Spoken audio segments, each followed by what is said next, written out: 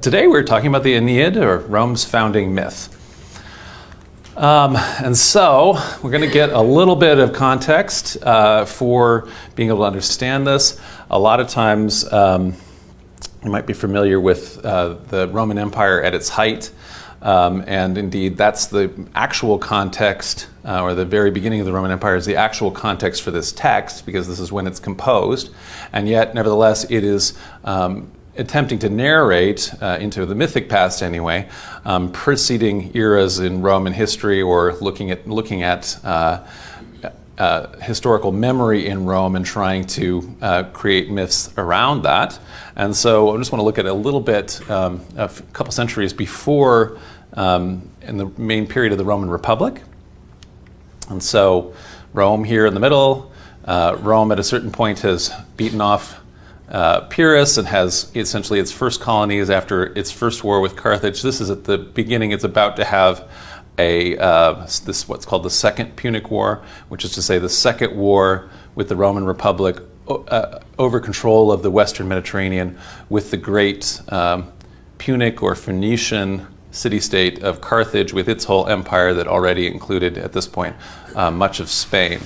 You might know the um, this is just an interesting um, tidbit. It has nothing to do with anything. But anyway, Carthago, or Carthage, just means new city in Phoenician. And then Carthago Nova, which is to say Cartagena, uh, means new new city. and I think there's a new Cartagena too, Cartagena Nueva or something like that. And so then that's new, new, new city. So I like that. anyway, it's like all of the places that are where the river is uh, the word for river, and then it's called river, river. Like anyway, yeah. you know, there's a lot of places like that. Yeah, the Phoenicians not that inventive of people. So yeah, this is what brings a good point. So if you're, you, a lot of you haven't been here before, um, so in a quick comment like that, I can repeat the comment so that people can hear us online. But if you have a long comment or question, we have a microphone, and so we'll pass you guys the mic. Uh, because all the people watching online, there's usually more people online than here, and they really enjoy your comments. And we also remind people who are joining us online that if you type your comments into the um, Facebook chat, Leandro can ask the question. So we were dealing before with, uh, a couple weeks ago, we did uh, Cleopatra and essentially the end of the Hellenistic kingdoms. This is when this is still uh, at the height of the Hellenistic period as Rome is emerging, though, as the new great power in the West. It's right after this second war when the Carthaginians are really defeated that Rome becomes the greatest power of the ancient world here. But still, at this stage, um, the heirs of Alexander, the Seleucids and the Ptolemies, especially, um, are the are the perceived anyway to be the greater or um, more sophisticated powers. All right, so we did a little bit of a timeline, so you can also get a some context scope. I like to have a little bit of a blueprint here so we can kind of see it.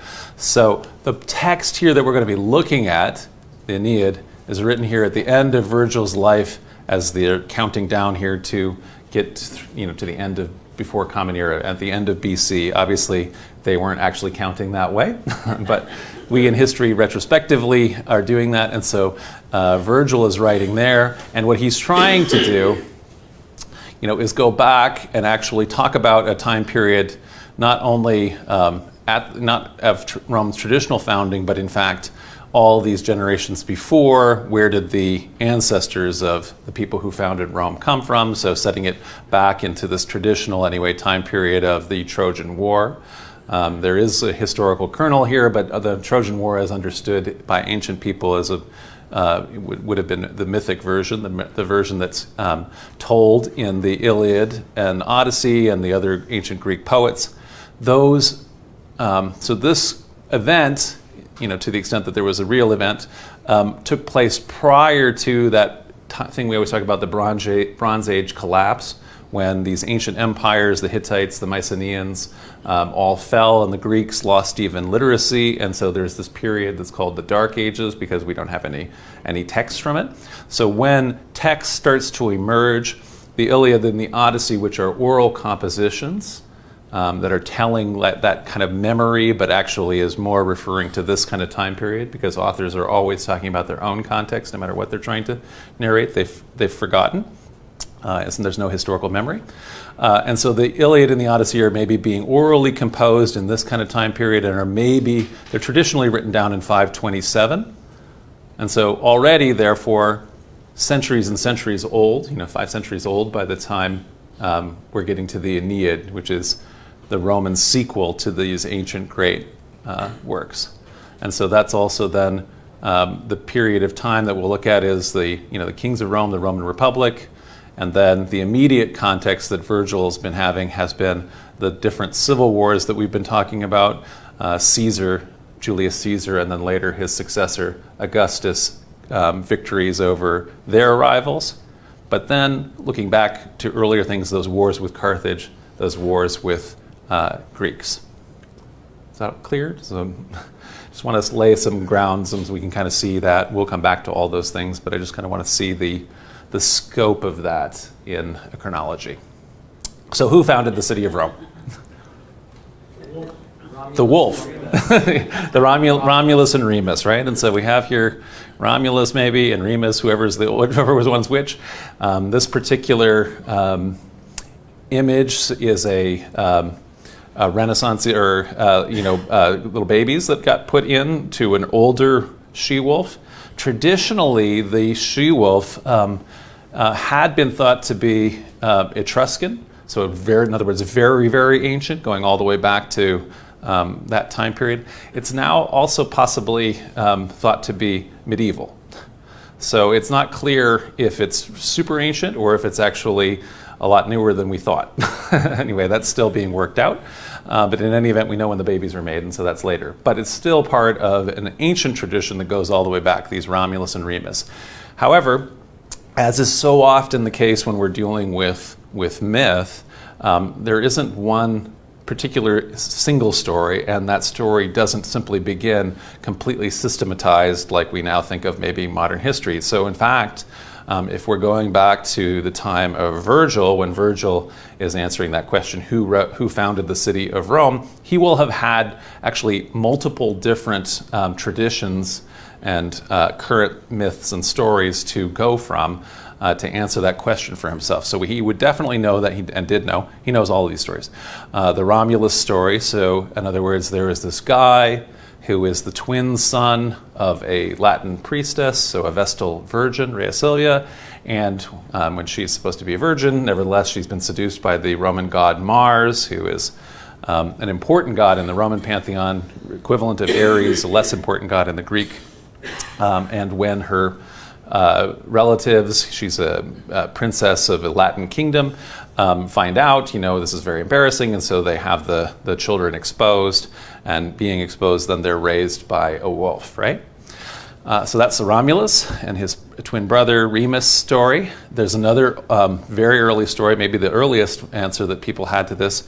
Uh, that there's a guy, a Greek hero named Evander, who uh, is from the area of Greece called Arcadia, so the Peloponnesus. Uh, Evander is the son of, in, in, in Romans legend, Mercury, in the Greek side from Hermes, um, and it's the equivalent god. Um, and so there was this thought that uh, he came maybe and introduced all the different types of civilization to the area that becomes Rome. Uh, the Aeneas, and so we're going to talk especially about that one today. But so this idea that there is this Trojan prince who is the son in the, in the Roman pantheon of Venus or in the Greek uh, Aphrodite. Uh, and then there's also a story that there's this guy, Romos, who is Ulysses' son. And so, as Ulysses, or as the Greeks had him, Odysseus, as he's doing, going on all his major um, important journeys of the Western Mediterranean, uh, he has a son at some point with. Uh, what's the nymph that he's hanging out with? Uh, Circe. Circe, is yeah. And so he has a, a, a, a, child by her, and that kid stays. And when he goes up back off to uh, Ithaca, and so then that kid Romos uh, uh, is the founder then of Rome. And so a bunch of those different answers. So if we look at these, um, these, so the Greeks um, had begun to settle southern Italy already by the uh, 8th century BCE. So essentially, when the Romans even start to think of themselves as, you know, in their mythic past of when Rome was being founded, they're already aware that there's Greeks around. And so Greeks are part of their um, kind of legendary tradition. And indeed, when we say this word, um, I'm, we're Westerners, or I'm a Westerner, and I'm a, also a Latin, and so I always think of everything from the Latin and Roman perspective as opposed to the Greek perspective. So Greeks don't call themselves Greek. Greek is, a, is the Latin word for Greek, right? And that comes from the fact that the area of southern Italy was called Magna Graecia.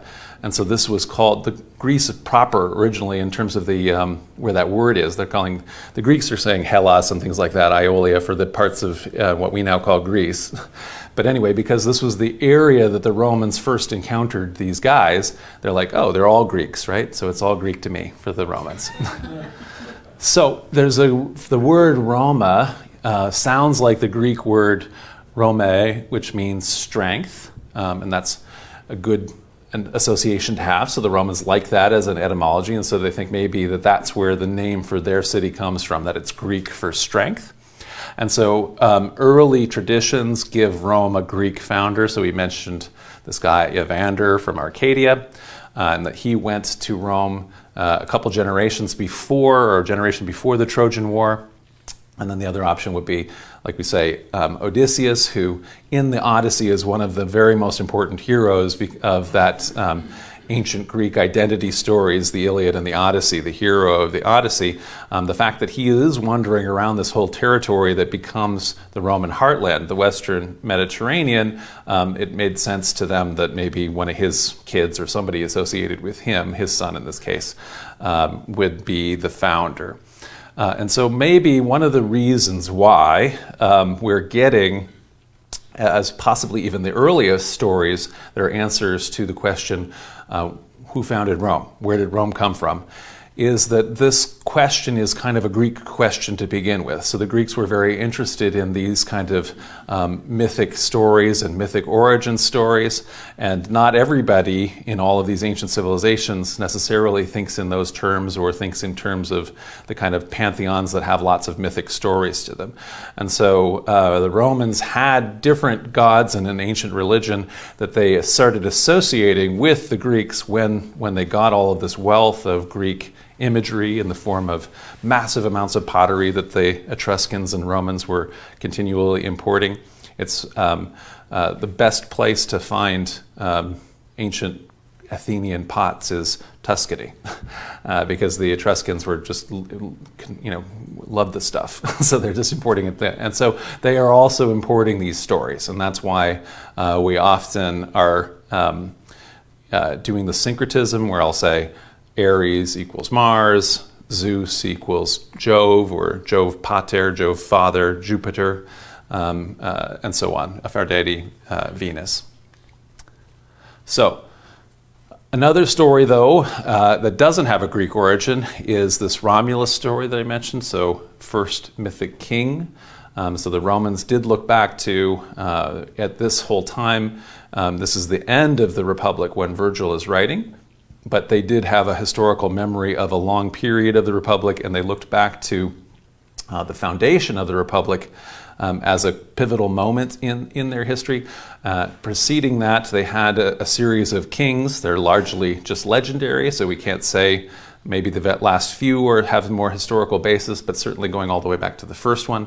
And so, um, one of the stories then that they tell is their first. Um, uh, legendary king, Romulus, who is also an eponymous hero, uh, by which we mean to say a lot of times when people, just in that same way, there's that Romus son, he's another eponymous hero. So a lot of times if you, um, you want to say, well, who is the founder of Israel?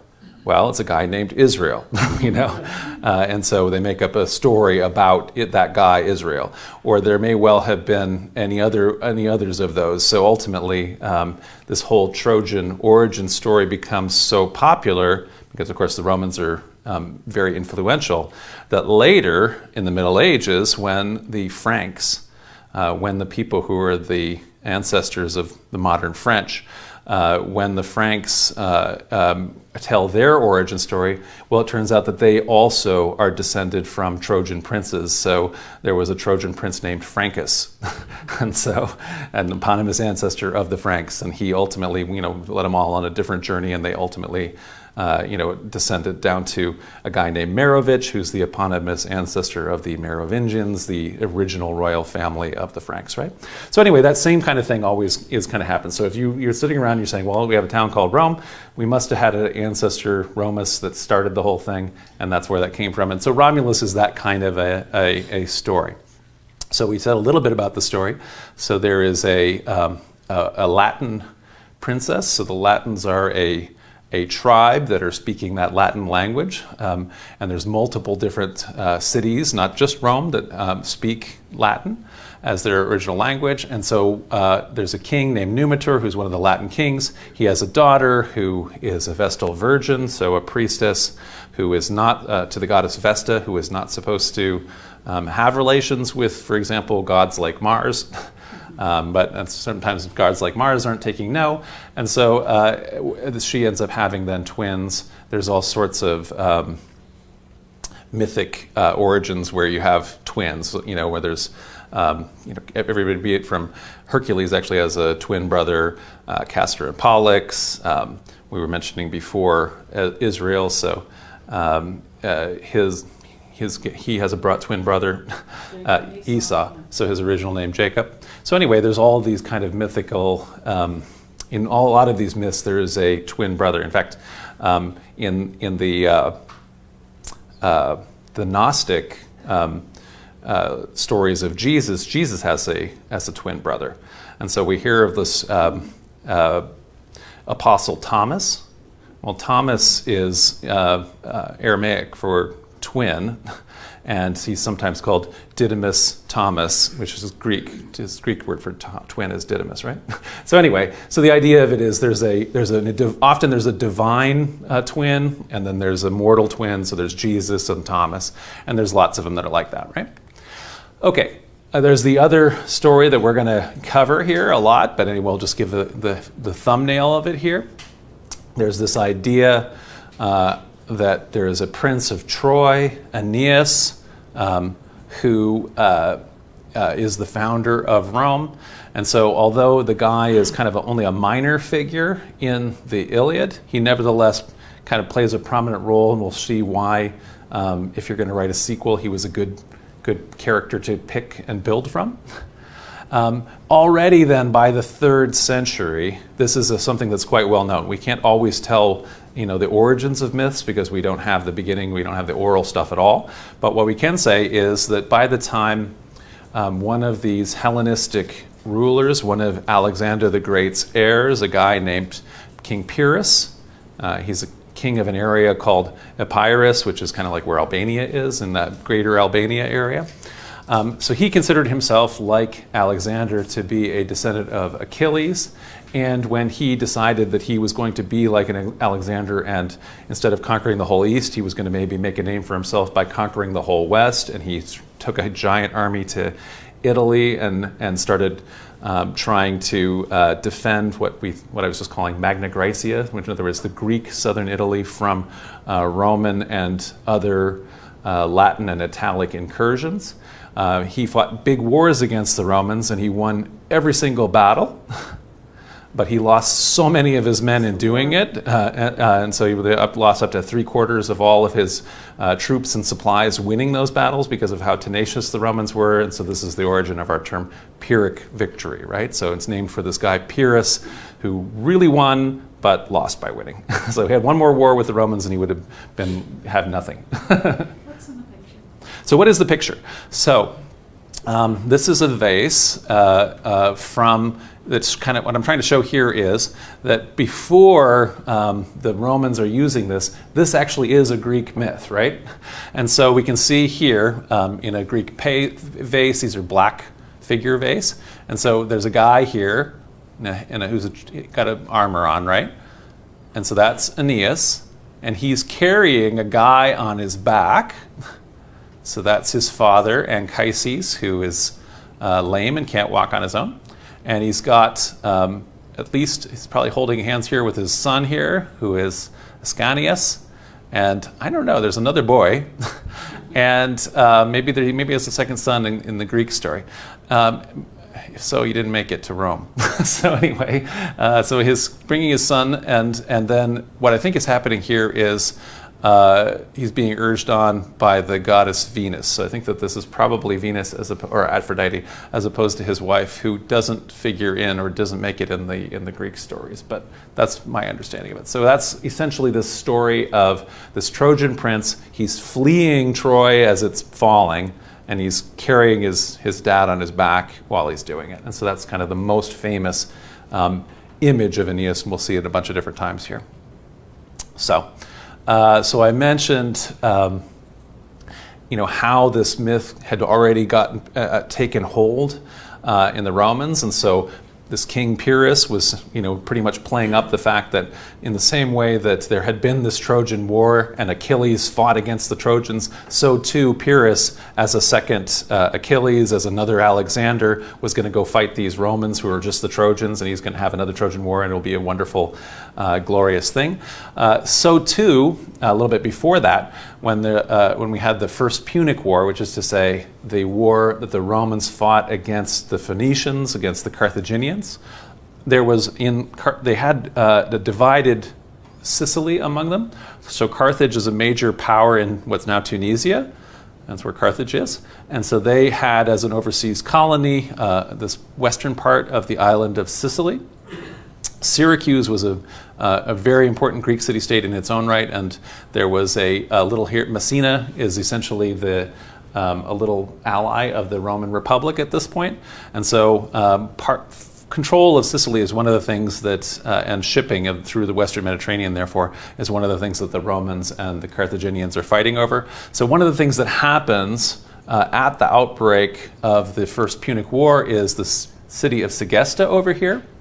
Um, they rebel against Carthage and they send letters to Rome saying, hey, we were founded by Aeneas. You know, so when Aeneas came here, uh, you know, his, his, Trojans came here. Uh, we were founded, and then you know, then we know you're founded by the Trojans too. So we should be allies against these Carthaginians. and so uh, the Romans, what? Yeah, very convenient, right? So it was a it was a very good PR. on the part of the, uh, you know, the Segestans, because not only did the Romans win that war, uh, but the Segestans were made allies in full in in full standing. You know, so they were not only freed as a city, but became, um, you know, a free ally of the Romans, and so they weren't subject to taxation and everything like that because they're essentially kinspeople, right? And so likewise, then in the ongoing centuries, uh, as the Romans start intervening more and more in Greece proper, so when they go across and they, uh, they take over Epirus, um, after Pyrrhus is gone, and they start taking over things like Macedonia and things like that. So, in other words, making their way into what we more think of as Greece proper and the Balkans. Um, then some of the Greek city states, which are continually warring with each other, you know, they're having fights with each other, and one of them uh, has the bright idea hey, if you go through the entire Iliad and there's like a list of all the different Greek cities that sent ships to attack Troy, we're not on that list. And normally that has been a bad thing because because we don't have any honor and all these things. But now we wrote, they write to the to the Romans and the Senate and say, hey, all of these cities that attacked Troy, you know, are attacking us, and we didn't attack you, so you should you should defend us. And so the Senate debated that, and they said, okay, that makes sense. And so they defended that city. So anyway, it was a good way that people started to have to um, have, you know, in other words, it's a mythic origin, but in other words, people are taking it seriously enough that it's affecting contemporary politics, uh, so they're believing it, right? Okay. I'm going to say I'm, I took a picture. My family's from Agrigento. Oh, really? Your family's from Agrigento? Agrigento. Uh, yeah. Uh, yeah. They didn't believe about the Greek. now I have the evidence. Yeah. What's it called? What's it Agrigento called now? Is it? It's uh, Agrigento. Oh, it is. Okay. Still, but um, a lot of the records were destroyed. Okay. So I just found out all about this two years ago. So I'm trying to trace back even back in the worst time. Yeah. This is this microphone on? The microphone is on. I'm sorry. We're supposed to hand the microphone. We need you to when you use the microphone because we're, sorry, we're live so- on Facebook. No, I just. Uh, I'm not sure it's working. It is working. It is working. Oh, okay. Yeah, Okay. It's on. Test, test. I thought it was working. That's okay. All right. Well, anyway, the point of it is, um, audience member here. She is from right here, and right here. By the way, the best the best preserved Greek temples in all of Yeah. in anywhere, uh, right here, right? Is it? Or, there, there, there apparently there's still some areas where people speak Greek today. oh wow! Uh, Oh yeah. And uh, we visit. I went, I went there and we visited the temples and. Yeah. um, but yeah, I, I still want to know about all the records uh, that that, would, that were destroyed and if anything has surfaced. Yeah. So the so the question is, yeah, I mean, uh, uh, anyway, there's so many Greek ruins. This was a very important Greek settlement. Obviously, Syracuse was a massive Greek city, and there were Greeks all over the place. Uh, but Sicily has been conquered so many times, um, uh, again and again and again, actually, uh, that not a lot of not a lot of records have survived, um, at least in Sicily. So other records have been survived other places. So Interesting. okay. So, another Aeneas. So, Julius Caesar, um, as you could imagine, at the time period we're getting to when the Aeneid is being composed, um, Caesar becomes the most important popularizer of uh, Aeneas as Rome's founder. Um, he, in fact, apparently wore, uh, when he would go into battle, often red boots, which are meant to be in imitation of Aeneas. So, Aeneas is known for wearing the red boots. And um, anyway, that's an imitation the patrician clan of the Julii, which is to say um, Julius Caesar's clan. So if you think of the, if you look at the Roman name, how it works, his name is Gaius, you know, Julius or Julius Caesar. And so that's his cog, you know, his praenomen is just every, there's only like five or ten. There's 20 different Roman names. It's usually you're named Gaius or uh, Manlius or Publius or Sextus or any of those kind of things, and then that, and then the second one is your your cl- uh, clan name and then your cognomen. And so anyway, so the big clan here, the patrician clan of the Julii, and so they're one of the uh, a handful of very important Roman noble families, and that's one of the names why we have names like Julie or Julian, uh, Jules. All of those things are coming from that from that clan. Um, essentially, all the girls would be called Julia, right? Romans are not very inventive when it comes to those names. So, what the um, Julii claimed is that Aeneas had a son named Julius or Iulus or Julius, uh, depending on how they want to say it. And so, that uh, therefore is Caesar is not only a second Aeneas, but in fact he's a descendant of Aeneas in his uh, his propaganda or his belief. Um, since Aeneas was the son of Aphrodite, then, then obviously the Julii are also descended from Venus, which is an important claim to be able to make, so your divine ancestor.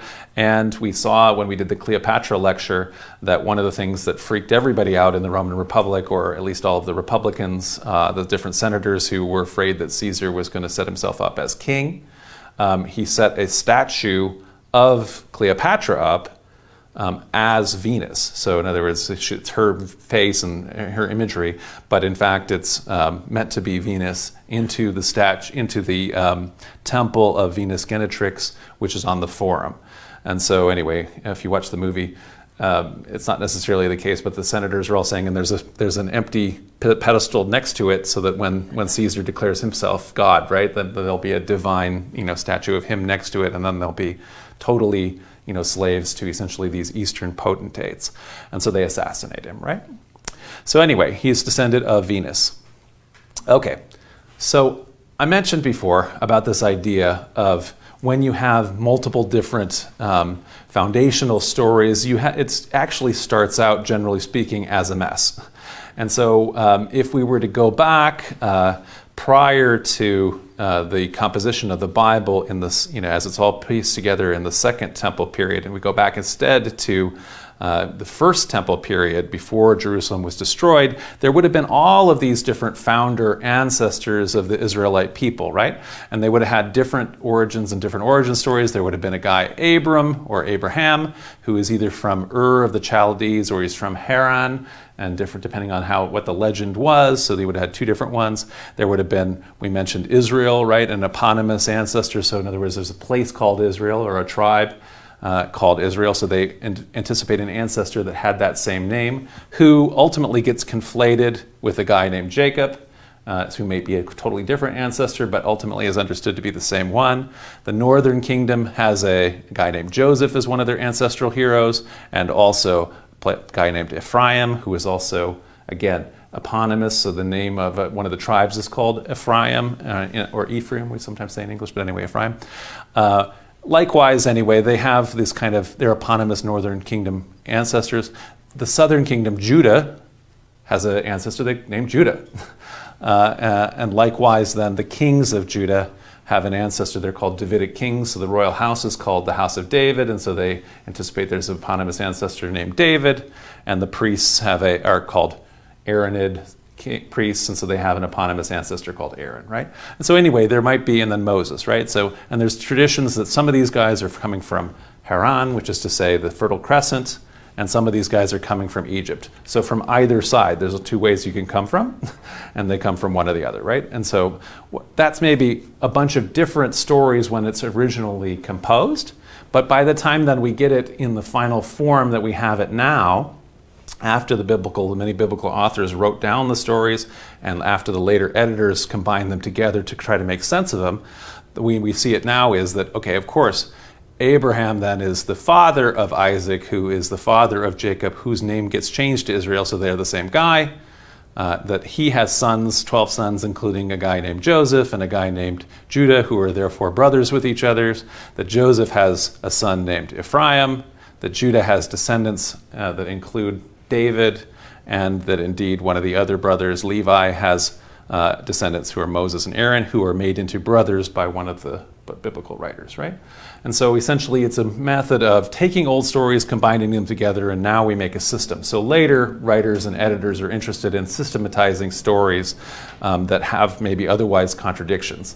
Some of the stories maybe have Abraham being from Ur, other ones have him be from Haran. They explain it by saying he started in Ur, he went to Haran, he came to the land, right? And so um, some of them have Abraham being in Egypt, maybe, and he came. They explain it by he went to Egypt during a famine and he came back. This kind of a thing. Okay, so the same exact thing we're going to see uh, is these probably totally different origin stories um, that were existing at Virgil's time. As Virgil gets a hold of them, he pieces them together uh, in his own kind of rational way, right? And so we have Aeneas uh, as the main character of Virgil's epic here. He is no longer, so this guy Evander is no longer a founder. He's just somebody who helps Aeneas out when Aeneas gets to Italy. Uh, so he's still there, he's still a figure, but he's not the founder anymore.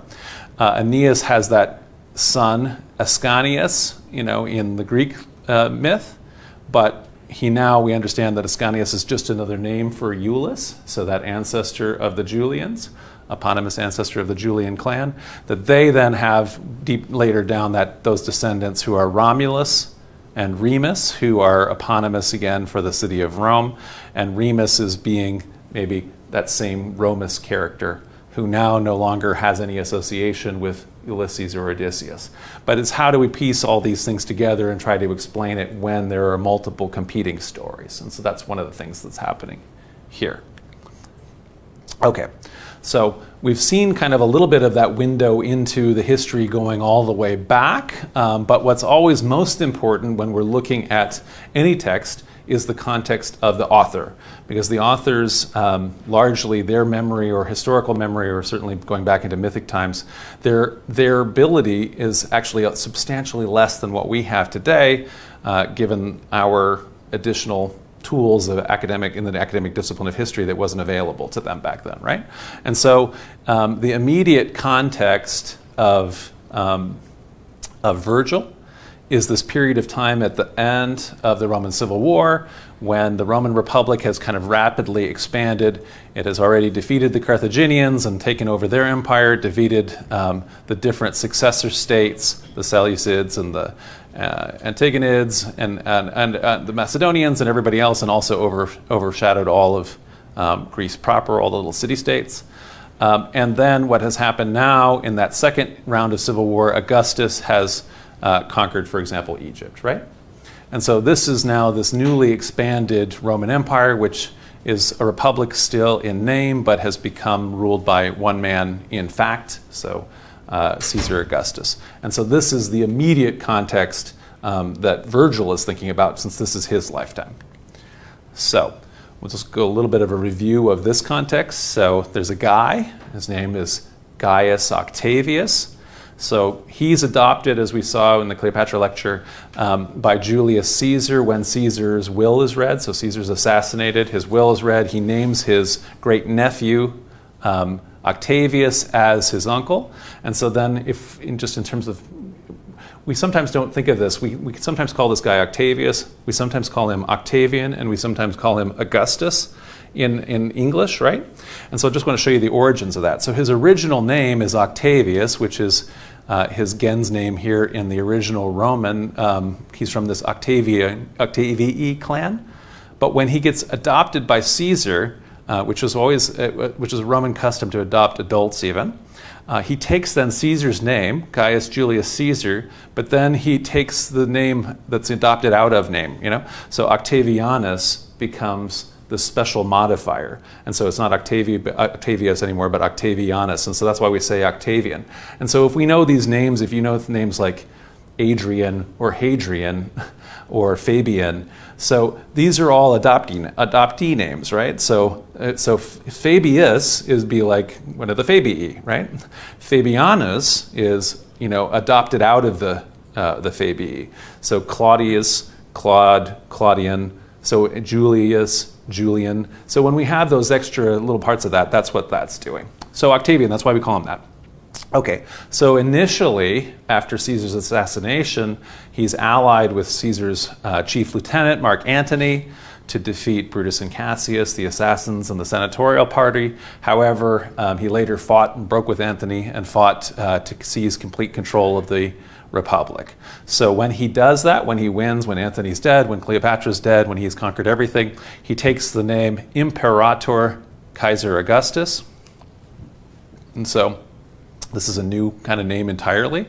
Um, and so um, this is now, um, we saw, saw, this whole thing about how Caesar, um, when they threatened to make him, you know, like when he was kind of doing a trial balloon about becoming a king, um, that was so uh, odious to the Roman people, the idea that he would have to take the title Rex, that they assassinated him or the senators assassinated him. So uh, Augustus does something completely different. So he takes a new title, which is simply um, this just means general at the time, so imperator doesn't mean emperor the way it does for us. It just means general. So all of these guys have been generals, and the you know the august general Caesar. Uh, and he also then takes the title princeps, which means that he's simply the first among equals of the different senators. You know, in name, obviously, in fact, he's a king, right? So he, but um, anyway, so that we get then that word because he takes titles like that, Augustus, Caesar has become titles as because of how powerful he is, right? So, um, for example, when we fast forward to you know the 20th century, for, there'll be titles like this. Um, so these guys who are all cousins of each other going into World War One, and they kind of all look the same. Uh, so George V is emperor which is that same word imperator. It just meant gen- it just meant general in Caesar's day, but now it means emperor. You know, uh, because we've had 2,000 years of making that title uh, get big. Likewise, uh, for the Germans, uh, the title Kaiser, Kaiser Wilhelm, right? So that's Caesar. That's pretty obvious. Same thing, the Czar, the Caesar of Russia, right? And another one of the titles that was used a lot is Augustus and so the Greeks, the Byzantines, continued to use that as one of their titles. We didn't keep it in the West. Um, actually, I think I personally think that they tricked the Byzantines are very tricky, and I think they tricked the Russians and the Germans. and so, which is because when the Roman Empire is divided, they, they made four emperors, and the senior emperor was always called the Augustus, and the and the junior emperors were always called the Caesar. and so and so they must have at some point or other the Byzantines recognized the German emperors and the and the Russian emperors as with the name you know, Caesar. And anyway, so I'm not sure. We have to look that up. But it does seem like they they tricked us anyway, and they were tricked the Westerners and Easterners. So, okay. So one of the things that happens um, when Augustus takes over um, is that um, he has a program of promoting what he thinks of anyway as good old fashioned traditional Roman morals, Roman values. So it's possibly growing out of that fact that he's the guy who's in charge of all kind of the Western provinces, the Latin part of the empire, and we kind of even have seen it certainly played up really big in the movie that Antony is off in the east. He's been Hellenized. He dresses in all things Greek. He loves Greek stuff. He has um, children by Cleopatra that are named, think, you know, have Alexander and Selene and Apollo, you know, these kind of Phoebus uh, or Helios, I mean, these kind of Greek names. Um, and so instead of having that kind of temptation of, uh, foreign queens from the Hellenistic East and also all of the sophistication of the Greeks. Um, um, Octavius, Octavian Augustus, this guy uh, with these multiple names, wants to portray himself as, um, as a stalwart Roman conservative. And so here he is. Um, this is for Romans the only difference between if you're a political leader, you have a toga, right? Uh, and so that's what a magistrate has. But if you're going to be a priest, you just take the toga and put it over your head like this, and now suddenly you're a religious official. Uh, and so this is him dressed as the Pontifex Maximus, which is to say the supreme uh, pontiff of Rome, which is a title that the, the, the, bishops of Rome ultimately take. The popes ultimately um, maintain that Latin title. So, among that offices, in addition to being Pontifex Maximus, uh, Augustus also um, was made censor. And so the censors had been this very um, honored position where you get to, um, we think of the word censor, right? You're censoring things. Uh, one of the things they were censoring is do you get to be a senator or not? So they have a list of who's, who qualifies to be a senator. And so he's made a censor for the purposes of um, cleaning up the morals in the city of Rome. And so if you um, aren't, aren't measuring up as far as he's concerned. He can drop you, for example, from the Senate rolls. Anyway, so Greek vice, Roman morals. Okay, so that brings us to um, Virgil, the author here. So Rome's epic poet in this Augustan age, a guy named Publius. So again, that one of those Roman names at the front, Virgilius Maro. So we call in English we say Virgil. Um, he's a major Roman poet. He's living through all of those civil wars, um, and he also there is therefore at there at the end of the Republic, that period of what we call the Principate, but which is to say the very beginning of what we think of as the Roman Empire. Traditionally, he's thought to have been from relatively humble origins, a Roman family in uh, the northern part of Italy, and he has a patron, my, Maecenas, who is political advisor to Octavian in the Civil War time. Uh, and then later, when Augustus is the emperor, he sort of kind of serves informally as minister of culture. So he's promoting um, all of these sorts of poets like uh, Virgil, uh, who in turn are you know, kind of helping out with the propaganda aspect of what the Augustan uh, era is meant to be all about. And we'll see that in the course of this. So, what is Virgil's uh, task that he sets before himself? It's nothing less than essentially writing um, the Romans into the Greek universe. So um, we had that quote earlier that I didn't read out loud, but anyway, that was on the slide that uh, that the that the Romans, you know, had conquered the idea from Horace. The Romans had conquered the Greeks, but the Romans understood the Greeks to be um, more sophisticated than them, and so they were in turn conquered culturally by the Greeks. Um, and so it's critically important then um, for the Romans to explain their origins into this Greek sacred narrative now that they control the Greek world. And so Virgil's epic, the Aeneid, does that. And it's, uh, though, laying claim to very, very particular real estate that ends up being um, very interesting and, and having a particular purpose to it. So the Aeneid itself, so the epic, is modeled directly on the Iliad and the Odyssey of Homer, which had been composed centuries earlier, and in some sense it's a sequel. So it's taking place in the same time, and then it's continuing. Um, but the difference is, is that the Aeneid is an entirely literary work, so which is to say, um, Virgil is writing, and so he's composing text with like you know with, with pen and paper um, uh, papyrus anyway. Uh, it's not an oral composition like those earlier works that predate, you know, that are dating back into that uh, uh Greek Dark Ages before there actually is writing. Um, and so by following then the last Trojan prince um, out of the Iliad, uh, the Romans become interesting, this interesting anti-Greeks within the Greek universe. So they're Greeks, but they're not saying, oh, well, when Odysseus came by, he founded us or something like that, which would essentially give credit to the, uh, to the Greeks. Instead, they're saying, yeah, yeah, we were around, but we were fighting you, you know, and that kind of thing in this Trojan War, right? So we mentioned, so we just to go back, I brought this slide in case, again, in case we needed some context, but we're, um, we're here uh, with Virgil, the composition of the Iliad are here, and then all the way back thousands of years, bef- you know, a thousand years before uh, Virgil is when the traditional dates, anyway, of when this event would have taken place. So, Aeneas. So, the, I want to look a little bit at the um, source material before we look um, and go through all the themes of the Aeneid. And so, what is the character of Aeneas like before Virgil gets a hold of him and makes him what we now think of today? So, uh, there's one of the very earliest, um, again, oral compositions going all the way back uh, a hymn that's attributed to Homer, a Homeric hymn, the hymn to Aphrodite.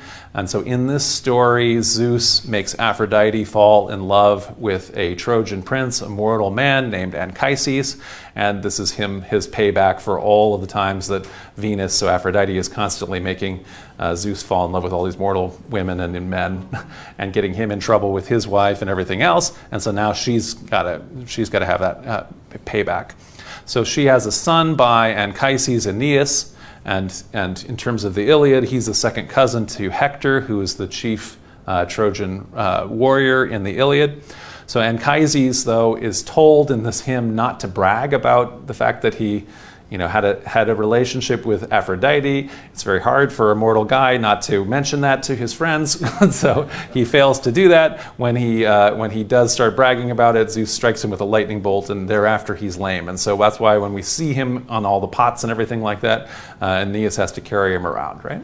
I, where did I read this? Um, oh, Greek myths by, oh, that English poet whose name escapes me, maybe it'll come back, who, who was in the First World War.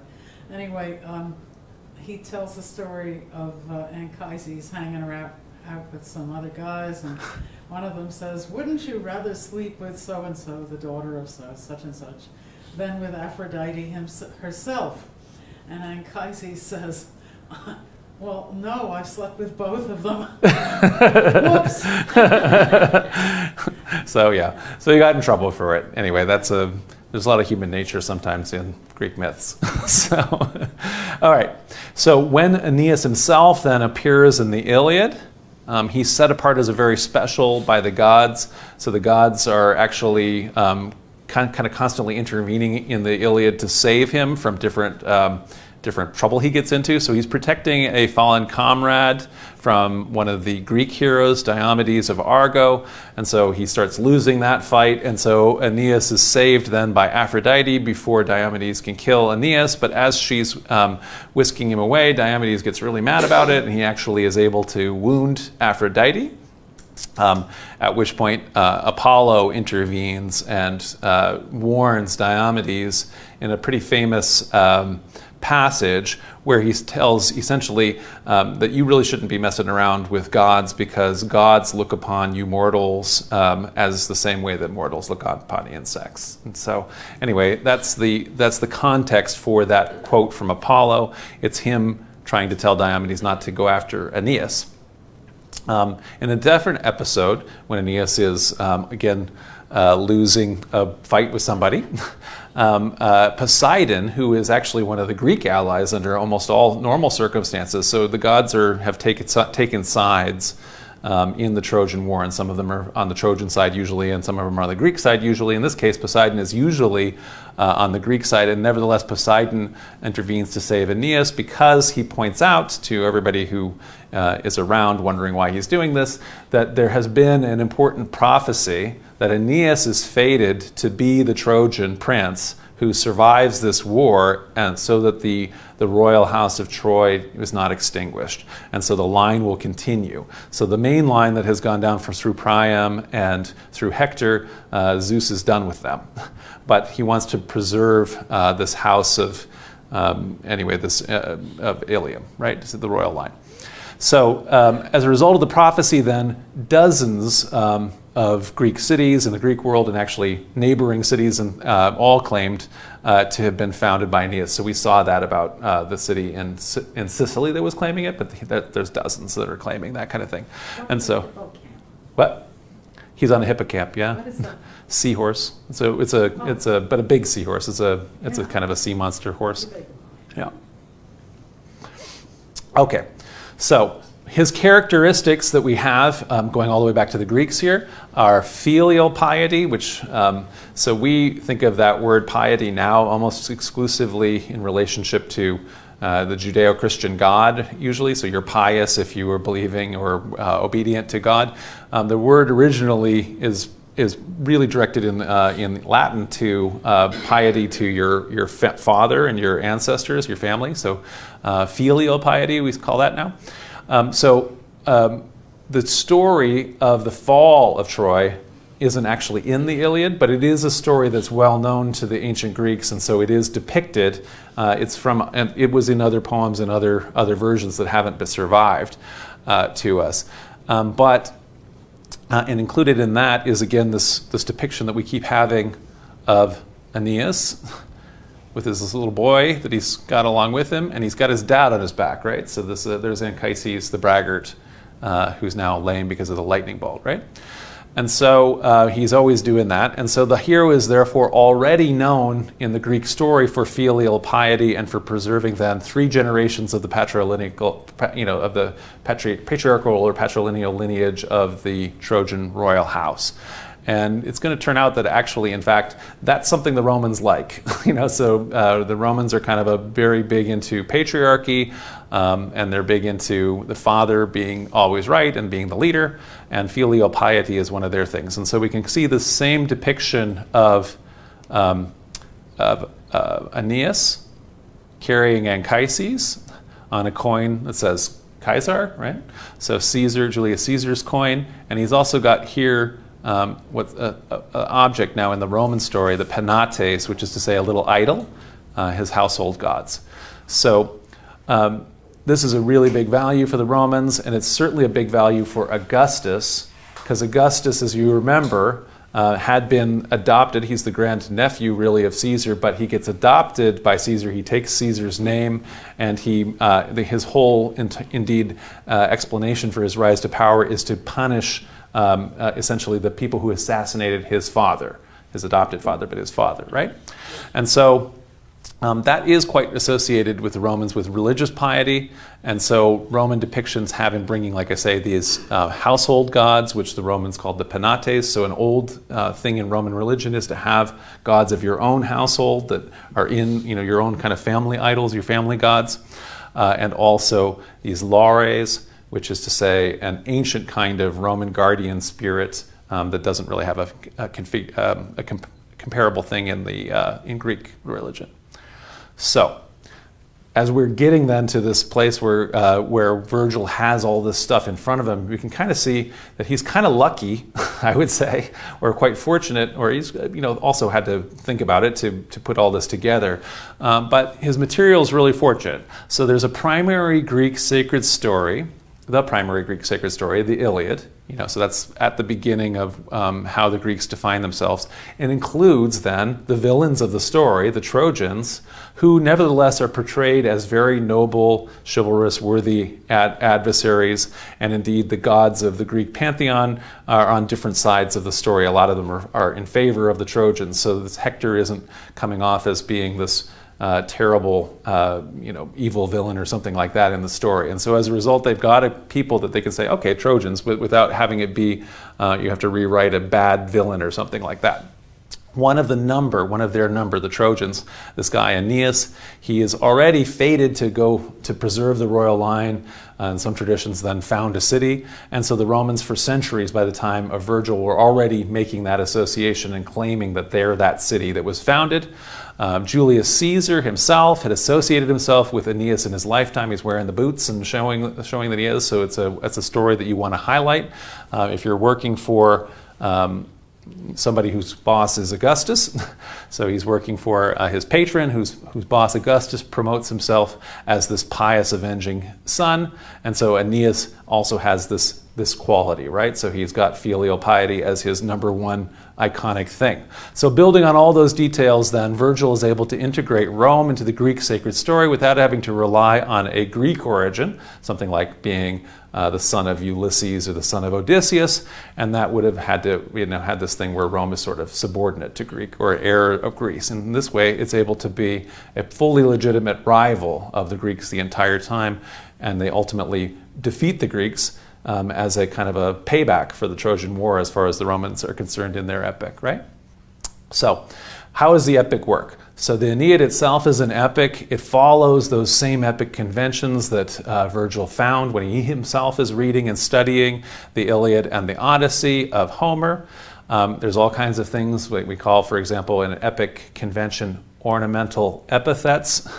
So whenever um, you're going to come about upon a hero's name, it doesn't just call him Achilles. Usually it'll say things like swift-footed Achilles, or Poseidon, Earthshaker, wise Penelope, bright-eyed Athena. So um, that will happen even if, let's say, uh, we're in a, where we mentioned Poseidon, and he's not shaking the earth, right? And so it's a it's an epithet that's associated with Poseidon. It isn't furthering the story, but it's part of the um, uh, the bag of tricks that allows a bard, an oral poet, in order to remember and also to compose and also to fill the meter uh, of their poetry. So it's one of the things that you need when you're doing oral composition. It's not as much one of the things you need when you're doing written composition, which you're not memorizing, but part of the idea that Virgil has is he wants this thing to sound like uh, the old thing. So, in the same exact way um, that um, if we, for example, go to modern times, the Book of Mormon is filled with all of this kind of King James Bible talk, and so he, he you know, you know, all of these kind of them, th- these and thous, and all this kind of thing. Well, this isn't how people talked in the 19th century when the Book of Mormon is being published, uh, but nevertheless, it's meant to sound biblically, and now people were thinking of that as being how the Bible talk is. I think uh, I think in Rome people did um, habitually. The, the poets would read aloud. Yes. They would go to parties and they would read aloud from their poems, or somebody else would read aloud. So these are these are, are written to be to be recited. Yes. Be read aloud um, to be performed. That's right. It is written. It is is meant to be read aloud for sure. They haven't invented reading quietly yet. So they, they can't. So in fact, the reading aloud is all they do. It's not until we. It's not until four centuries later when we get to Saint Anselm that that, that suddenly he, they've invented reading silently, and Augustine's like sees he's doing that. he's like, "What are you doing? you know, that's amazing." Who was it who was who, who astonished people by reading without moving his lips? Was it Anselm? Anselm. Saint Anselm. I'm just, not Anselm. Ambrose. Ambrose of Milan. Was it? It's Ambrose, is what I'm trying to say. Uh, anyway, Ambrose of Milan. anyway, so he's um, yeah, not Anselm of Bec, Ambrose of Milan. So Augustine is amazed by him. It's a, it's this. You could. Um, we'd all have a party trick if we were around in, you know, in second century, because no one will, no one knew how to do that. Okay, so one of those things then, uh, then an ornamental epithet that we have all the time is pious Aeneas. So Aeneas' piety, his filial piety, his devotion to the patriarchal line is, is brought out. Um, there's all other conventions like in medias res. So in other words, the idea that the epic is beginning in the middle. And so it's starting in the middle of all the events, and then at a certain point you tell the backstory. And so, uh, and that happens in the Iliad and the Odyssey as well uh, and then they get and they tell the end afterwards, right? And so those are epic conventions.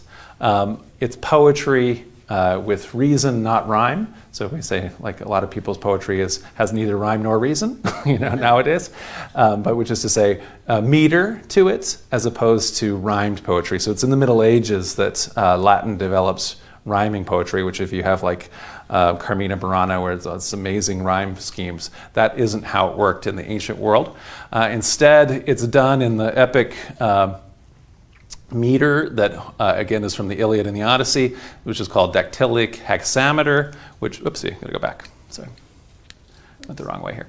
Okay, pressing the wrong button here, which means that there are six different of the feet, so hex, six, and then, and dactylic because Either one of these is going to be a dactyl or a spondee, except for the second to last one, which is always a dactyl, and then there's either going to be a spondee or a trochee at the end. And so that essentially means It could be long, long, or long, short, short, long, short, short, long, long, long, long, long, short, short, long, short. You know, like that is how it's going to always go. And I'm really bad at um, reading metered poetry, but it would be something like, and the English one down here, uh, which is done in dactylic hexameter, down in a deep, dark dell sat an old cow munching a beanstalk, right?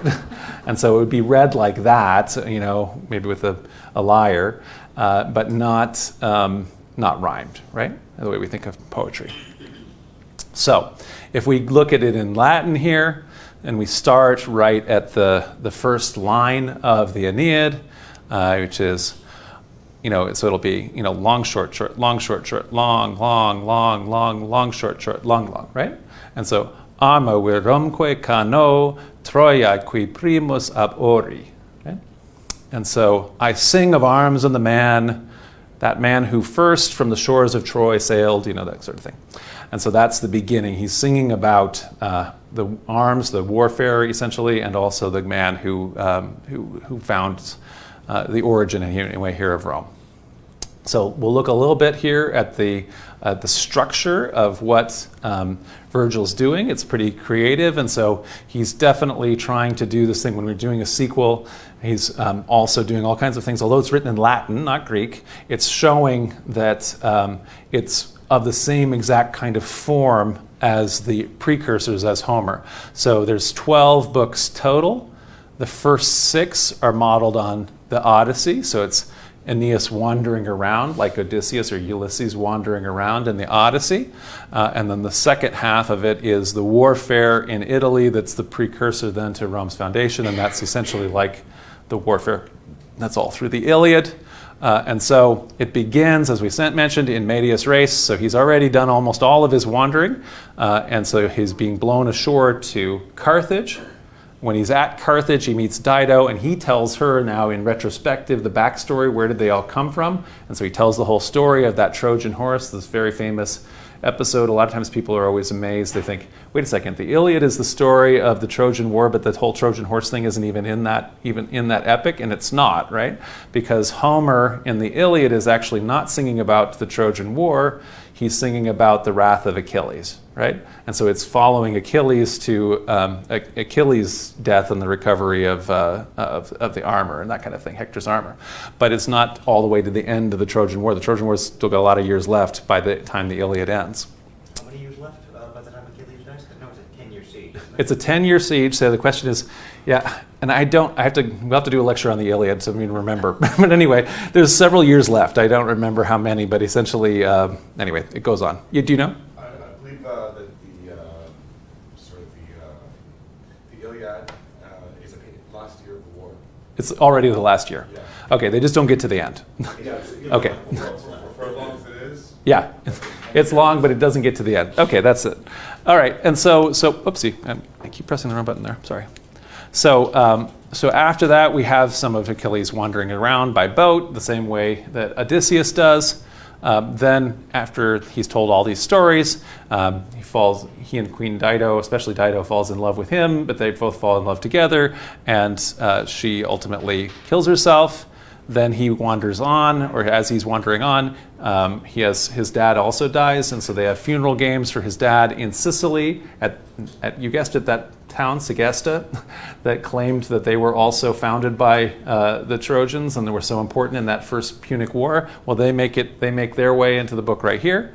Uh, then he also from there goes into the underworld. This is one of the things that Odysseus does in the Odyssey, and so modeled on that same part of this Odyssey, uh, Aeneas also goes down there, but he goes down there with uh, the goal of having this vision of what this future is going to be. He's supposed to be founding the city. What wonderful thing will, will occur in the far future, in Virgil's time, let's say, uh, when, when he goes down there. You can see that in the underworld. Then they get finally to Italy. Uh, you set up a, they set up the bad guys. The bad guys here uh, Turnus and some of the other uh, Latins are on the wrong side of it. Um, they aren't as much the, the level of the heroic guys as the Trojans were in the, in the Greek epic. Um, uh, they make alliances with the other Latins, and, uh, and there's also kind of another future vision of what's going to happen uh, by looking, for example, at, um, uh, at a shield that his mom gives him. So that's showing, in fast forwarding to this amazing battle of Actium. So tying Augustus into the story from all the way back here. Um, the bad guys, the Turnus attacks the Trojan camp.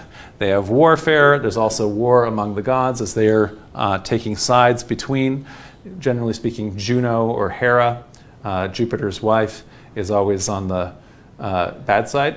and, so, and so she's in favor of Carthage and, and against the Romans. Um, then there's a funeral, uh, a funeral for Evander. We mentioned Evander. He's one of these allies, so he's been helping out. Uh, and then finally, there's the final defeat of the bad guys, right? And so that's the warfare period. period. Elizabeth. Okay, never mind. We'll push. We're going to push on here. Okay. I don't. Yeah, I'm not sure if the mic is on. Do you have a? I do have a quick question, actually. Yes. So by this point, Carthage had already been destroyed, right? That's right. The final Punic War had happened. Yes. Um, why then, if the whole of the Aeneid was to serve a kind of political purpose as propaganda, did they create such a tragic end for Queen Dido? Yeah. To like establish that rivalry. I don't really see what the political purpose would be of that. Right. I like that anticipatory question. I'm not going to immediately try. I would normally go on a tangent, but there's not a tangent because we're going to get there. So I'm, I'm, I'm, so I like that. So we'll just mention. Um, we're not going to go through this, but anyway, uh, there's all of these wanderings, and these are sort of like the wanderings of. of so we start off in Troy. Uh, he goes and finds where some of the other Trojans have been hanging out and trying to make uh, make their own way. He also goes past a lot of the different places, for example, where Odysseus had been, and so he sees the Cyclops and other kinds of. Uh, you know, it's one of the things you do in a sequel, right?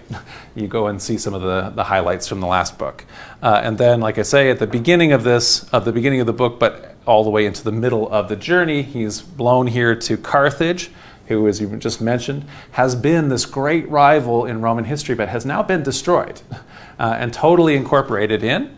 Uh, and then from uh, Carthage, then makes his way up in, the, and that last half of the book is taking place up here, that war, right?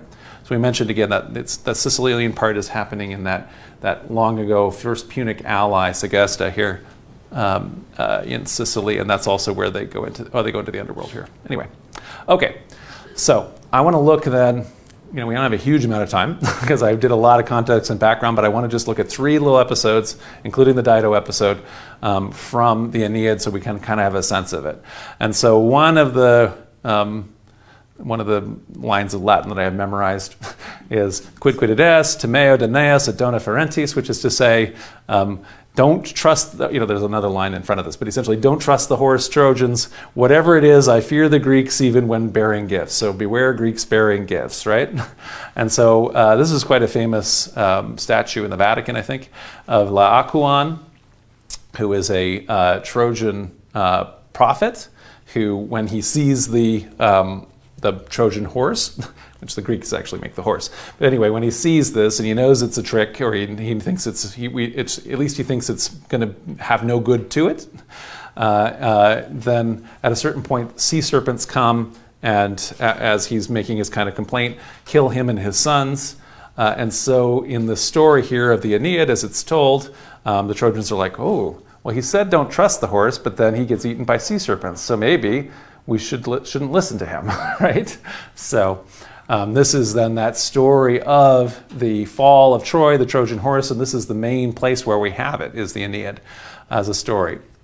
So then, in truth, a strange terror steals through each shuddering heart, and they say that Laocoon, uh, Laocoon has justly suffered for his crime. So the fact that he didn't trust the horse and that he hit it with his spear, uh, in wounding the sacred oak tree with his spear, so this um, important uh, gift. By hurling its wicked shaft into its trunk, uh, they, they think that he's been punished by the gods for that kind of impiety. So now they've decided, okay, we're taking the horse now. so pull the statue to her house, the goddess's house, they shout, and offer prayers to the goddess's divinity. So we breached the wall and opened up the defenses of the city. All prepare themselves for work, and they set up the wheels, allowing movement under its feet, and stretch hemp ropes round its neck. The engine of fate mounts our walls, pregnant with armed men. so obviously, all the Greeks are inside the horse. If you don't know the, the story of the Trojan horse, and now the Trojans have, have uh, foolishly brought it into the city. So, um, when the Greeks get out and uh, the battle ensues, um, everything immediately falls apart. Uh, Aeneas is fighting and he keeps on having to fall back and fall back. He's in the palace at a certain point and everything's burning down. And at that point, Aeneas catches sight of Helen, Helen of Troy, for whom the entire Iliad. Uh, technically, she's the casus belli. She's the cause for the war. Uh, the fact that Paris, the Trojan prince, had stolen her away from uh, the Spartans uh, is the whole reason for the war, technically, right?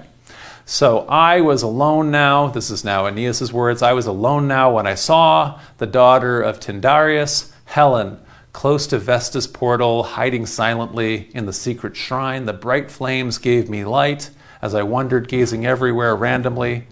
Afraid of Trojans, this is her now, she, Helen, afraid of Trojans angered at the fall of Troy, Greek vengeance, and the fury of a husband she deserted, she, the mutual curse of Troy and her own country, had concealed herself and crouched, a hated thing by the altar. So uh, things have not gone well for Helen, but nevertheless, he's mad because of this whole war has killed, has destroyed everything, right? So fire blazed in my spirit, anger rose to avenge my fallen land and to exact the punishment for her wickedness. Shall she, unarmed, see Sparta again and her native Mycenae, and see her house and husband, parents and children, and go in the triumphant role of a queen attended by a crowd of Trojan women and Phrygian servants. So all of the Trojan women are now going to be slaves, and they're going to be taken back to Sparta.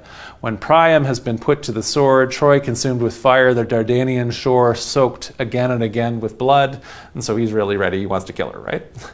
Um, but he also says to himself, it's not going to be big and honorable to kill an unarmed woman, but it will make me feel good. So he's kind of debating with himself at that point. And then his mother, uh, Venus, Aphrodite, Venus in the, in the Aeneid here, appears. And so she convinces him, you know, stop worrying about this, let Helen go.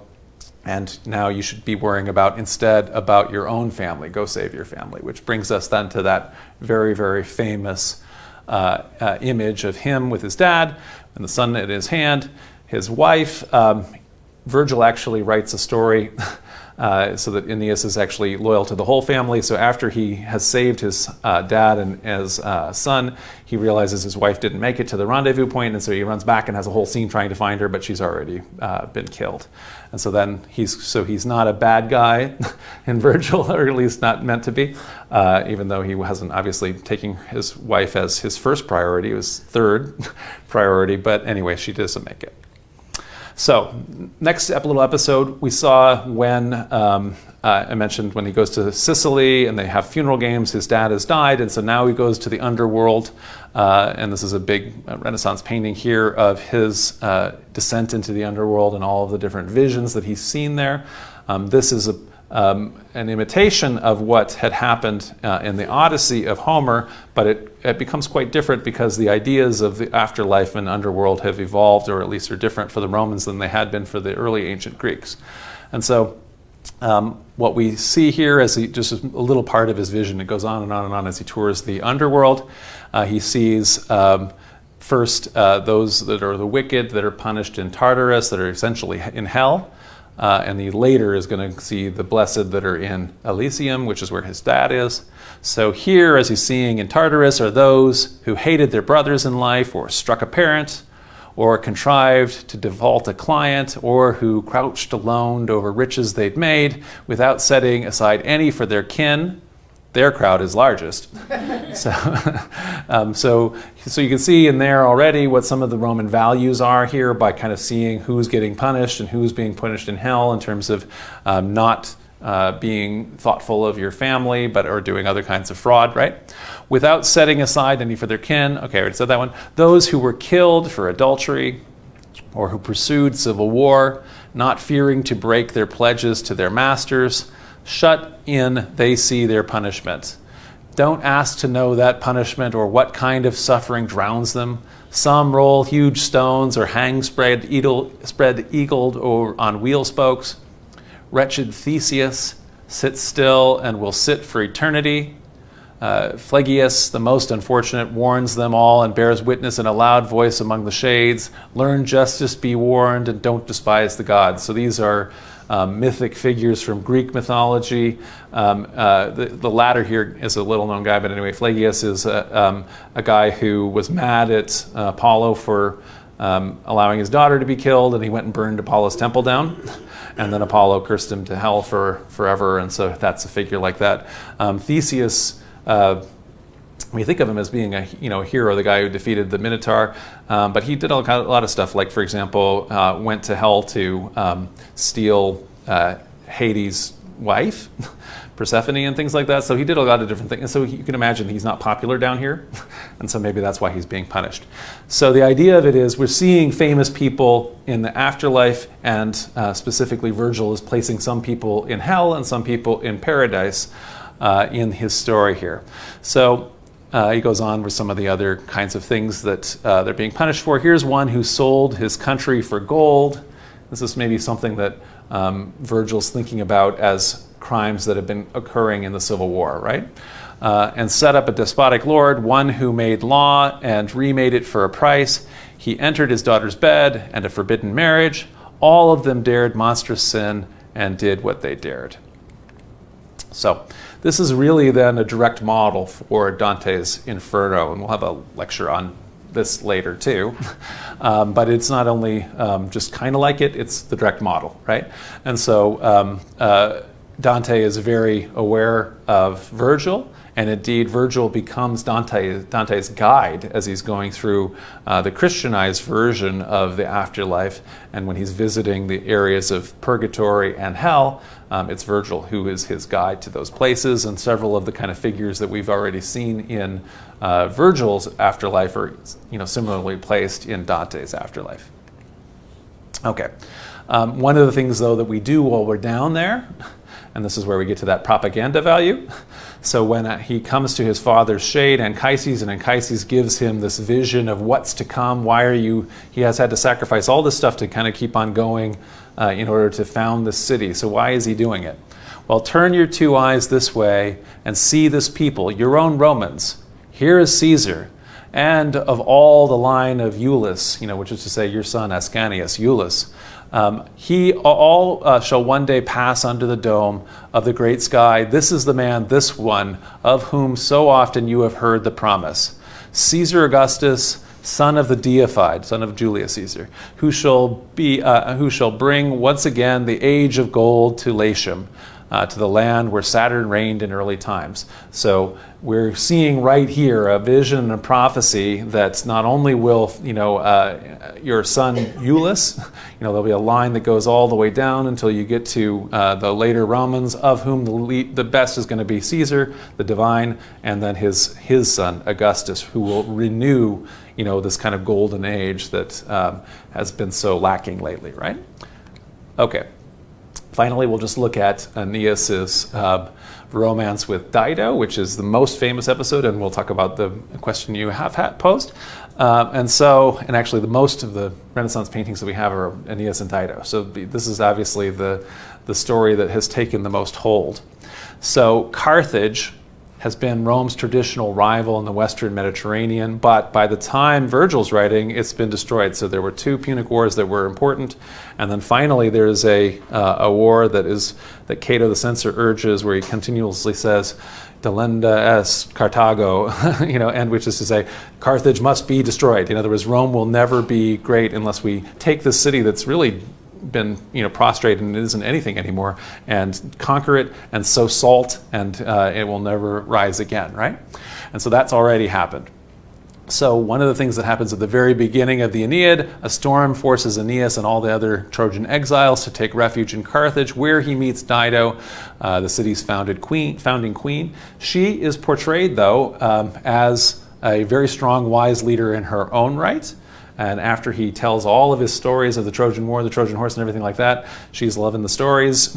she's loving how uh, he's telling them and, and what a great noble catch he is compared to she's a widow and her she doesn't have any other um, Phoenician princes to marry, and she doesn't want to marry any of the local uh, North African guys. And so, therefore, um, uh, her sister, anyway, says, You really should be marrying to this guy. Um, and one of the things that happens in the story is doesn't hurt that when you're having, you know, like you're going after love affairs, if your mother's Venus and it turns out then your half brother is Cupid, right? so anyway, so anyway, so his half brother is Cupid and his mother has dressed Cupid up to be Ascanius or Iulus, that little boy. And so Ascanius doesn't even make it to Carthage or whatever because Cupid's dressed up pretending to be him and he's hanging out through that whole time. And so you can imagine uh, that what he's doing, you know, in terms of, you know, having love happen, right? Anyway, so um, they two, they fall in love. They have an affair, which Dido probably right, quite rightly regards as a common law marriage, you know, since they've consummated the marriage. And then um, she's imagining that he's going to stay and be king of Carthage with her or rule jointly with her. Um, but at that point, Mercury, uh, Jupiter's herald, comes and re- reminds him. Uh, you know, remember the duty thing, that whole destiny prophecy thing. The whole reason Poseidon saved you was because you got to go found a city of your own, and it's only then he was he was probably quite content on his own to just go ahead and live there, um, but he decides to leave, and so um, we'll just look at uh, uh, the love affair before he leaves. So now she, Dido, leads Aeneas with her around the walls, showing her Sidonian, which is a word for Phoenician here, right? Punic, Carthaginian wealth, Sidonian wealth, and the cities she's built. She begins to speak and stops in mid flow. Now she longs for the banquet again as the day wanes, yearning madly to hear about the Trojan adventures once more, and hangs once more on the speaker's lips.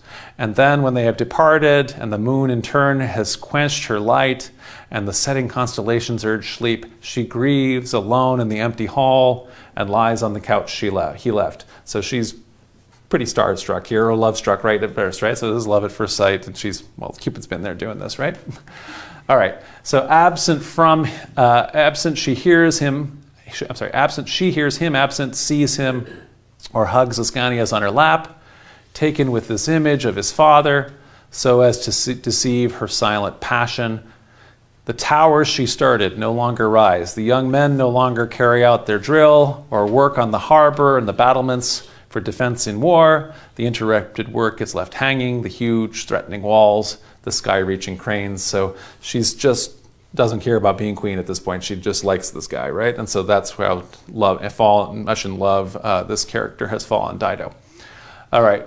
Nevertheless, Aeneas, being reminded of his uh, duty by the gods to leave, he sneaks out of town, um, uh, leaving her in her grief. Uh, and so she determines that her only course of action is suicide, uh, which is an honorable thing in, the, in as Romans understood it. Um, and so um, uh, that's where she does. And so she says, as she's now um, about to kill herself. She has some time to curse Aeneas for um, you know falling, making her fall in love and then leaving. And he says, and as her curse to Aeneas is, if it must be that the accursed one, Aeneas, should reach the harbor and sail to the shore, if Jove's destiny for him requires it, there his goal. Still troubled in war by the armies of a proud race, exiled from his territories, torn from Iulus' embrace, let him beg help and watch the shameful death of his people. Then, when he is surrendered to a peace without justice, may he not enjoy his kingdom or the days he longed for, but let him die before his time, lie unburied on the sand. This I pray, these last words I pour out with my own blood. That's about as bad an end as you could have happen, or she's at least longing for. He doesn't quite have all those things happen to him. But she does um, also then give one last kind of plea to her own descendants. Uh, then, O Tyrians, you Carthaginians, in other words, pursue my hatred against his whole line and the race to come which is to say the Romans, so Carthaginians here, and offer it as a tribute to my ashes. Let there be no love or treaties between our people. Rise, some unknown avenger from my dust who will preserve, I'm sorry, who will pursue the Trojan colonists with fire and sword now or in time to come. whenever there is strength, I'm sorry, whenever the strength is granted him, I pray that shore be opposed to shore, wa- uh, water to wave, weapon to weapon, let them fight, them and their descendants. So this is a, um, an explanation of the, the death match between Carthage and Rome. But why is it important, and why, uh, why uh, to your question, is it, um, Dido such a sympathetic character, and why does it have to be? You know, they could have had any number of villainous Carthaginians that could have um, spurned kind of this this end. So I'm going to propose here that the immediate um, reason that um, Virgil has for uh, demonizing a tempting foreign queen is because his patron's master, Augustus, has had as his rival Antony, right? And Antony's uh, uh, dalliance with, affair with, common law marriage to Cleopatra, um, this queen of the Hellenistic East. And so, even though we're talking about um, this historic rival, Carthage, that doesn't exist anymore, a lot of times what happens is there's the echo of the contemporary political situation that you were either inspired by or commenting on, right? And so, um, the irony, though, is that uh, even though he may have been kind of writing it that way and writing um, Dido to be, you know, this kind of seductress and uh, and and and maybe an echo of Cleopatra, what ends up happening is, is that the character is so compelling and so compelling, for example, in contrast to Aeneas, who is just always having to be kind of a stoic Roman uh, guy who is relatively passionless and, and, upright and who follows his duty. I mean, we don't read the story today and say, well, he, he was told by the gods that he had to do his duty and think, oh, well, that's very sympathetic. Rather, um, what's happened throughout history as the story has been read, yeah, is that he's the son of a bitch, as, as Libbas says, and Dido's the one who's been, um, I think, felt uh, the, very sympathetic to, right? The, this tragedy. And so, anyway, as a result, maybe not, uh, we, we, you know, when you're writing stuff, you don't always know what's going to be the thing that you're known for at the end, right? And so, in this particular case, it may be um, ironic that this is what gets pulled out of it, that this is not actually what Virgil necessarily wanted. Yeah. I'm just wondering um, what moral stature might a woman's uh, uh, emotional uh, subtext, irrational uh, demands on a man have held versus a man's duty to his country. Right. Yeah, so that's a good point. And, and so no, so I agree. So I, so that's a, I think that's a very good contrast. So as from what Virgil I think was wanting to show, I think he is actually showing that someone who has has fallen madly in love, you know, there is, whether it's because of Cupid being there directly doing it, you know, but that love is a madness. And what did that, what happened? So she had been this um, strong queen that was busily producing Carthage and everything like that. But as soon as she's fallen in love, she's sitting in the couch pining. She's wishing he would come back and tell stories again. And it says directly, you know, that none of her city's getting built anymore. Nobody's working on the cranes or anything like that because she's not there um, doing that kind of a thing.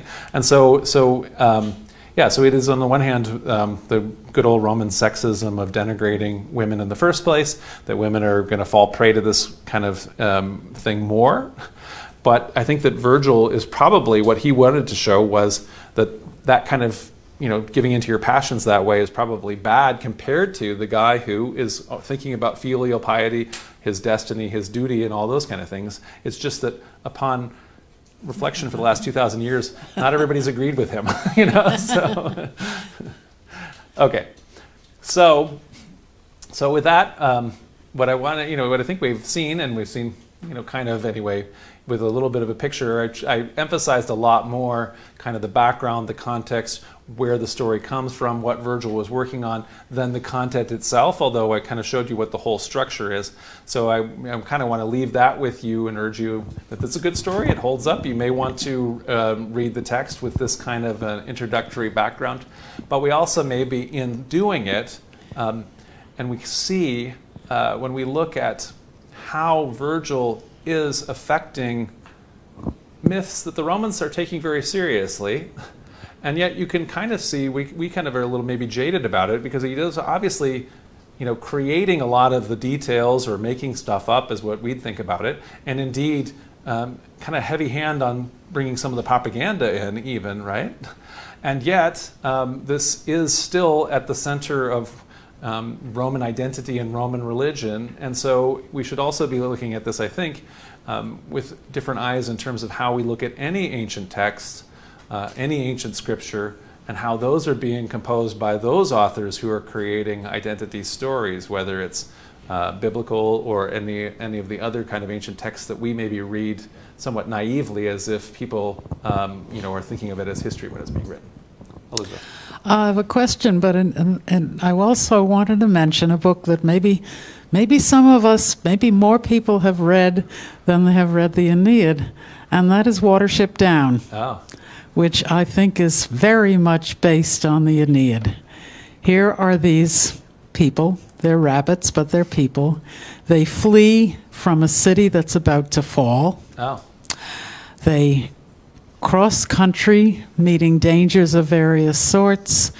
They come to what looks like a haven uh, where there's plenty of food and the other rabbits are fat and they seem to be living a good life. But they discover there's a price to be paid. The food has been put out by the local farmer, and the prices he puts out snares, and every so often a rabbit vanishes, having been killed and taken for food. wow. And then they carry on and they found their own city there. And one of the rabbits is he's a seer, but he's not like Cassandra. The other rabbits do believe what he says. And they dig themselves a, a new warren and all is well, but their leader realizes there's something missing. They have no does, not even one. Oh dear. No does means no kittens, and no kittens means in a few years no warren. What to do? Well, they go to another warren, and uh, eventually they do come home with a bunch of does, but the other warren is, there is, is ruled by a chief rabbit who is very warlike and very possessive. He doesn't want anybody leaving. And uh, and he when when these people do when these rabbits do go home with a bunch of does, then they're uh, the this leader of the warren they came from comes to make war on them to try to destroy them and take the does back, and by means of a trick they defeat him, Ah. and it ends up with everybody living happily, not ever after, because rabbits don't live forever, but happily. I see. I, I, I guess so. I have not read it. I mean, I, I remember when I was You have a treat coming. yeah, I'll have to read it. I mean, I was in, I, when I was seven, I saw a cartoon of it, but Hmm. I just remember Mean Rabbit. but anyway, so Yeah. but yeah, but it does sound like so. Like for example, you're talking. But part of that story there is like the rape of the Sabine women, right? Yes. So after the after the um, it's not you know after the the Trojans here or whatever the early these early actually the Romulans uh, after Romulus is, is around and they've founded Rome they find that same problem they don't have you know Rome needs Mars needs women right Rome needs women and so they go to the Sabines Yeah. Uh, the question I had is this that uh, traditionally, among even the strictest, uh, most puritanical Christians uh, who have who, who, who abhor and shun uh, non Christian literature of any kind, they make an exception for Virgil. oh yeah. Do you know why? Do you know anything about that? Well, so there's a lot of um, so throughout throughout um, you know anyway the time time period from Jerome and everybody onward, Augustine, there is a there's there's definitely been a um, exception that Christians have made in terms of a lot of the classics, and Virgil's right at the top of the list. And so, what Augustine called that, uh, using a biblical analogy, is that when the children of Israel left Egypt, they despoiled the Egyptians, and so they didn't take they didn't take all the Egyptian gold idols um, and and bring them and worship them, but they took the gold, you know. And so the idea of it is um, the analogy that Augustine has is the classics are filled with uh, you know all of this am- amazing stuff, uh, lessons, knowledge. Uh, other other kinds of things. We can take that with us as Christians uh, going forward, but we don't have to. But we we can't. We're not taking, for example, belief in Venus as a as a goddess or any of those kind of things. But rather, we're taking though. Um, for example, how great an author Cicero is, so that we can learn how to do our Latin well. And so, several of the um, let's say, early Latin fathers, you know, were accused of um, loving Cicero more than you know the Bible and things like that, uh, and so that was always a, a, danger. But essentially, because the um, the language of the church and Christianity and science and everything like that throughout the Middle Ages was Latin, and all of the all of the grammar, everything, all of the texts that they studied were the original classic texts. Um, those were all preserved, and that's why we have them all, right? Because the Christian monks copied them. So otherwise, we wouldn't have them. Yeah. Another question um, is the fact that the people that we used to call gypsies call themselves Roma. Has, what has that got to do with Rome? It, yeah, it's unrelated. So the, Rom, the their their own uh, name for themselves, Roma, is not related to our the word Rome. Um, and then the, why we call them gypsies is a, uh, because we, we were because English people thought they were from Egypt, which they are not. so anyway, so Egypt it means Egyptices, right? So anyway, but that's um, one of the places that many different um, people thought they were from. So, yeah. Yeah, just I was uh, back to uh, Elizabeth's point on Dante. It, it's telling that even though there was some, um, uh, let's say, uh, admiration for the the great uh, Greek epics, you know, on the part of the Christians, nonetheless, in Dante's vision. All the Greek greats are in hell, nonetheless. All, Yeah. They're all pagans, and so. Yeah, but but there's a couple. There's a couple people that do. I think a couple people like make it into purgatory, but almost everybody's in the first circle of oh, hell, Oh, hell, yeah. which is pretty nice.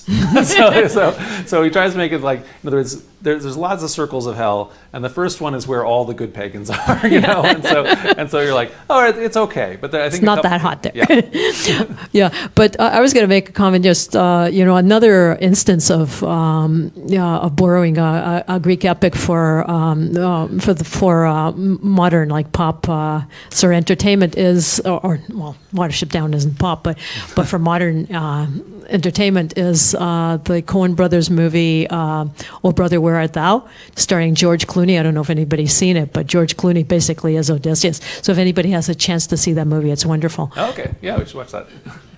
Yeah.